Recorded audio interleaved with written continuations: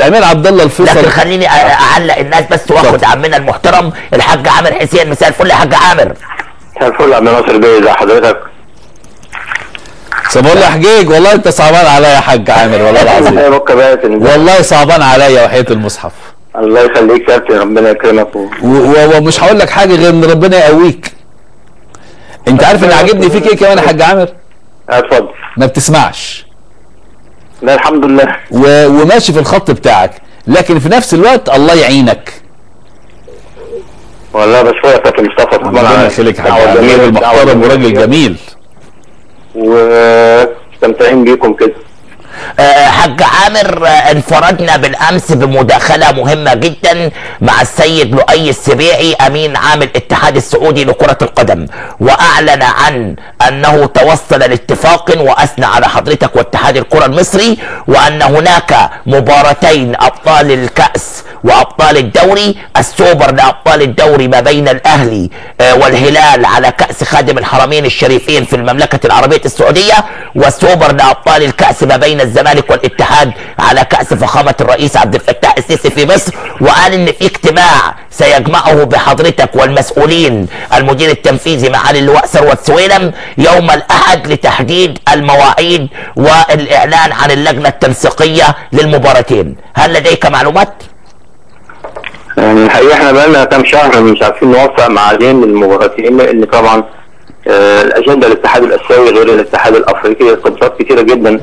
بالنسبة للنادي الأهلي لأنه عنده بطولة أفريقيا اللي هي بتاعت الموسم الماضي. اللي هو بيكملها دلوقتي وعنده بطولة عربية وعنده البطولة الجديدة في شهر 11 آه، فطبعا الأمور كانت آه، صعبة وتم آه، بما معناه تجميد ال- المباراتين فلما حطيت الجدول أنا أعلنته من يومين آه، ما حطيتهاش الأجندة عندي إنما البادرة الجديدة طبعا اللي هي آه، حصلت ديت وإن ال- الأخ رؤي هيبقى موجود يوم الأحد إن شاء الله. هنحاول طبعا لأهمية المباراتين خاصة إن هي على آه، على كأس اسمين كبار الحقيقة. الناس كلهم بتحبهم فنتمنى إن إحنا إن شاء الله نوفق يوم الأحد إن إحنا آه، نلاقي ميعادين للمباراتين دولت. ولازم هنلاقي ميعادين المباراتين دولت. علشان الناس تستمتع بمباراتين زي ما كابتن مصطفى قال آه، أربع فرق تقال جدا.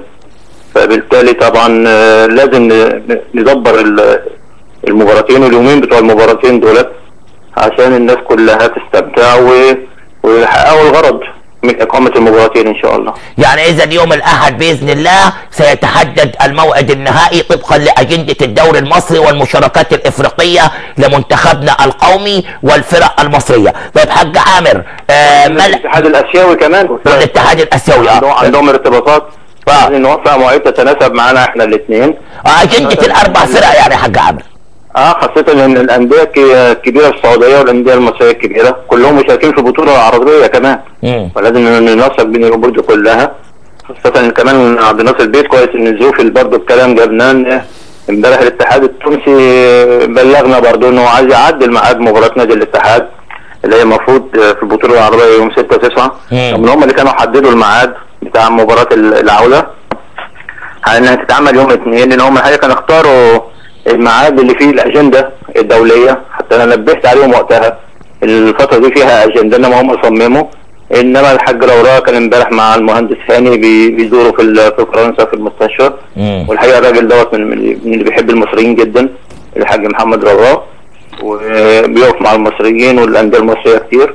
آه، راح كان بيطمن على الكابتن هاني وكلمني هناك وقال لي ما طمنا على الحاجة على الكابتن على المهندس هاني يا ب- يا باش حاجة عامر. ولله الحمد لله هو عمل عملية ولا لسه؟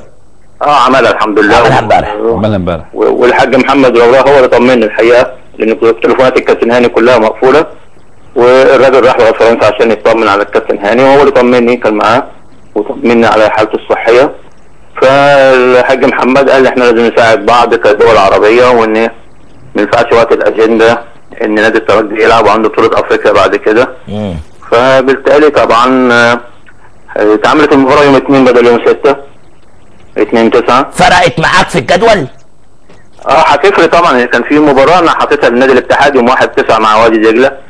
فطبعا هشوف لها طبعا ميعاد تاني آه بدل الميعاد ال- اللي كان محطوط في الجدول. فطبعا دي كلها أمور صعبة والموسم دوت آه، صعب جدا جدا يعني. إن الارتباطات كتيرة جدا آه، وعدد المباريات خاصة بالنسبة للنادي الأهلي ومصر لو كملوا إن شاء الله. في البطولتين والبطولة العربية بالنسبة للنادي الأهلي هيبقى كم المباريات اللي موجود يعني هي يوصل ل 74 مباراة بالنسبة للنادي الأهلي. أنت عارف الحل إيه يا حاج عامر في القصة ديت؟ رأيي الشخصي يعني. إن أيوة. لازم ال- السنين اللي جاية يا حاج عامر نقلل عدد فرق الدوري الممتاز عشان يبقى عندك وقت للمنتخب وقت البطولات إفريقيا وقت البطولات العربية وقت للسوبر. هو الحل الوحيد إنك تقلل آه، عدد فرق الدوري الممتاز. ما أعرفش إيه رأيك؟ لا ده رأيي أنا الحقيقة بنادي فيه من زمان الحقيقة لأن إحنا آه، تونس نفسها كان 16 نادي ولأن شمال أفريقيا عندها نفس الظروف بتاعتنا يا كابتن مصطفى نفس المشاكل عندنا. تونس من سنتين آه، كانوا كانوا 16 نادي وبعدين عرفوا إن في كأس عالم.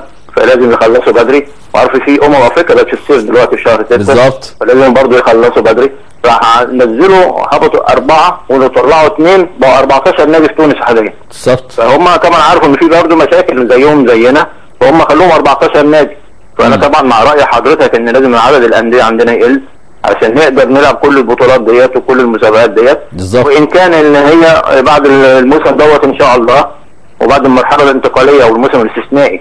اللي قال عليه الاتحاد الافريقي إن هي مرحلة استثنائية عشان نرجع نلعب البطولات الأفريقية زي الأجندة الدولية من شهر 8 لشهر 5 بدل ما كانت بتتلعب أبطال الدوري الكونفدرالية من شهر 2 وتنتهي في شهر 11 بعد آه. كأس العالم للانديه شهر تسع 12. شهور وكان بتخش آه وكان تخش في مراحل قيد في الصيف واللعيبة الأندية بالظبط. كانت بتمشي اللعيبة بعد الموسم فلازم تأيد لعيبة وكنا ما عندهاش عدد في الاتحاد الأفريقي عدد عشان تأيد لعيبة الزمالك مرة لعب 14 لاعب والأهلي لعب 17 لاعب صح. كمل بقيه البطولة. فإن شاء الله كل ده هيظبط الموسم دوت. بس هو موسم صعب وأنا أعلنت للأندية في الاجتماع اللي كان عامله المهندس هاني ولا نزل نعرض الكلام ده على الأندية.